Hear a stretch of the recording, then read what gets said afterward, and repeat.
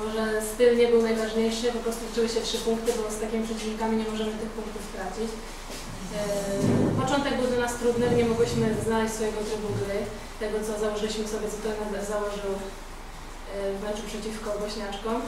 Jednak od 15 minut myślę kontrolowałyśmy całe spotkanie i było to widać.